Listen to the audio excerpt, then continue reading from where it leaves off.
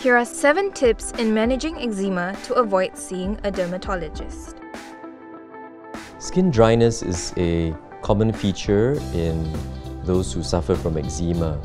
And skin, when it's dry, it leads to itching and discomfort, which can then lead to scratching. Keeping the skin moisturized, therefore, will alleviate these symptoms. And one has to keep the skin moisturized on a daily basis.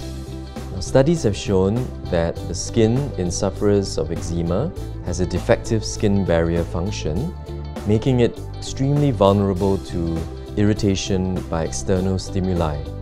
This defective skin barrier can be repaired by the use of moisturizers. Now, this process may be quite tedious, however, it will go a long way in helping you to prevent flare-ups of eczema. When showering, use unscented soaps or shower gels that do not foam up.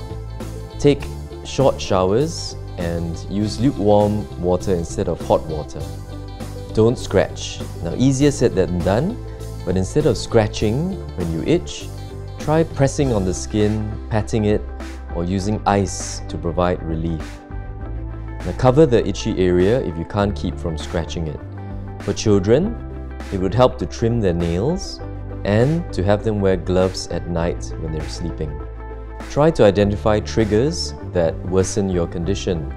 An example of a trigger is dust. Avoid triggers as far as possible. Stay in a cool environment or use a humidifier. Hot, dry air can worsen itching and flaking.